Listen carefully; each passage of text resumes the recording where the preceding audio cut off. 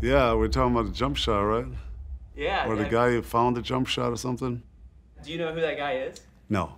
Uh, that's a, I don't know, because, I mean, What do you mean invented the jump shot? No one invented the jump shot. Wait, there wasn't a jump shot at one point? First of all, it's skepticism. He- he's, nah, I did. How do you know he was the first jump shooter? I mean, that's everybody's first question. How, how are you going to call this guy the first jump shooter? Let me see how dumb or how smart you are. I never really put a lot of put a lot of thought into who was the first guy that ever shot one. Okay, here's the deal. Who is the guy that invented the jump shot? About eight years ago, I guess I started looking at, uh, well, who could have done this? When I took over the features department at CBS, the editor that left left me a pile of, of stories that he thought would be worth pursuing. And I was going through and I saw Kenny Sailors, inventor of the jump shot. First time I ever heard the name. Are you sitting down?